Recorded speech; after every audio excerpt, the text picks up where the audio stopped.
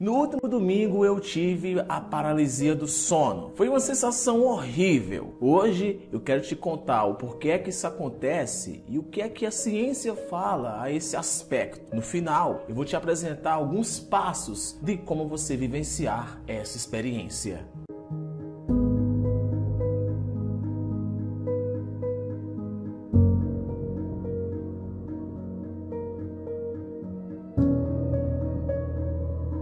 Um novo estudo descobriu que entender por que isso acontece ajuda as pessoas a sentirem-se menos angustiadas após um episódio. Acreditando que a paralisia do sono é causada pelo sobrenatural, por outro lado, faz com que as pessoas se sintam mais nervosas. A paralisia do sono ocorre quando o cérebro e o corpo não estão exatamente na mesma página quando se trata de dormir. Durante o sono de movimentos rápidos dos olhos, sonhar é frequente mas os músculos do corpo estão relaxados ao ponto da paralisia, talvez para manter as pessoas de agir a partir dos seus sonhos. Os pesquisadores descobriram que duas substâncias químicas do cérebro, a glicina e o GABA, são responsáveis por essa paralisia muscular. As estimativas de quantas pessoas experienciam paralisia do sono variam de 5 a 60%, provavelmente por causa das diferenças de métodos de pesquisa. Algumas pessoas experimentam a paralisia do sono frequentemente,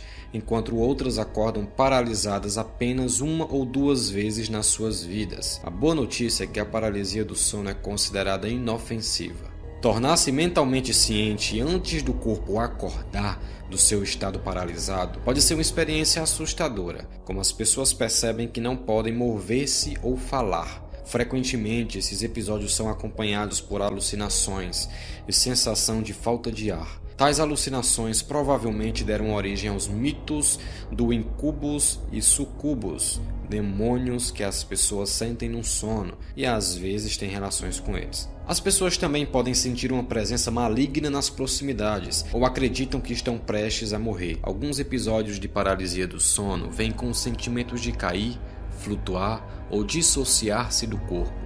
Essas experiências sensoriais são mais propensas à angústia do que as outras pessoas que têm apenas a paralisia, de acordo com um estudo publicado em fevereiro na revista Clinical Psychological Science. Segundo especialistas, existem algumas maneiras de você experimentar essa experiência por vontade própria. Uma delas consiste em você deitar-se sobre a cama de barriga para cima e com os braços estendidos paralelos ao seu corpo.